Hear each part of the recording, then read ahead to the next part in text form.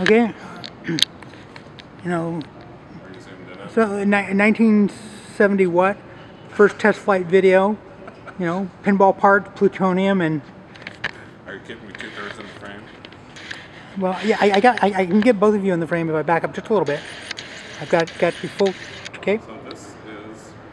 I'm going to try to take this plane off without crashing it. Not the first time.